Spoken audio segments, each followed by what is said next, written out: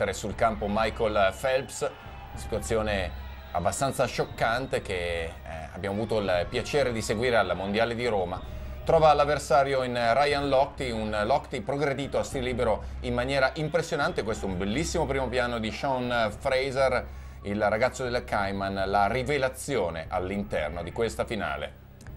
Corsie, come vi sono state presentate, che vedrete dal basso verso l'alto dei vostri teleschermi ed ora pronti al blocco di partenza con Lochte in corsia 4, il favorito, sorvegliato speciale, grandissimo duello con Paul Biederman e occhio a Danila Isotov in corsia 1, la prima in basso. Tenterà sicuramente un passaggio veloce Isotov così come è stato al campionato europeo. Non sarà facile però riuscire a staccarsi dagli avversari visto la velocità aggiunta di Ryan Lochte in quest'ultimo periodo. Davvero completo questo atleta straordinario dallo stile libero elegantissimo e potente, morbido, con una grande propulsione di gambe anche in spinta di virata.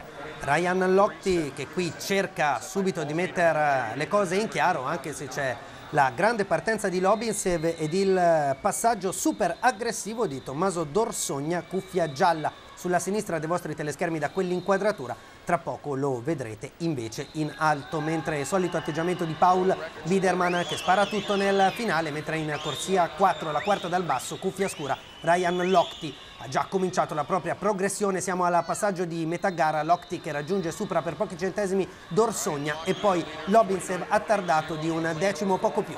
Pericoloso portarsi dietro Paul Biederman, il tedesco ha dimostrato di avere un'accelerazione finale unica al mondo, anche se in questo 2010 non ha avuto lo stesso impatto di quanto mostrato al Mondiale di Roma. Si sta per sviluppare il duello che verrà lanciato dalla corsia numero 6 di Paul Biederman nei confronti di Ryan Lochte anche se Danila Isotov in prima corsia cerca di anticipare il tedesco. Lochte al comando manca oramai poco alla fine con Isotov che cerca il recupero dei confronti di un Lochte comunque strepitoso il primo in basso cuffia azzurra che vedete in questa immagine. Isotov che però non può più raggiungere Lochte lanciato verso il suo primo oro nei 200 stile libero, primo oro mondiale in corta per lo statunitense in questa specialità che ha ulteriormente abbassato il primato della manifestazione. 1,41 e 8 centesimi.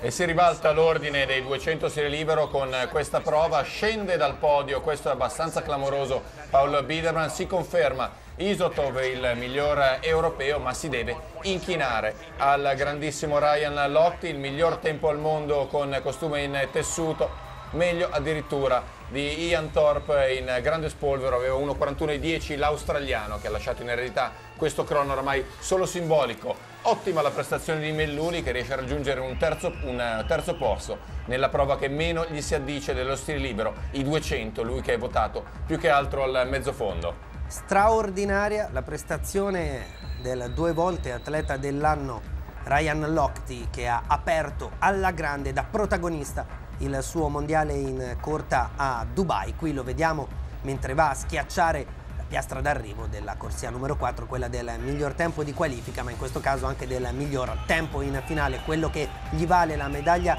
d'oro e per lui una conferma più che positiva. Cosa aggiungere invece su un Paul Biederman che non è più l'orca trita record della scorsa stagione.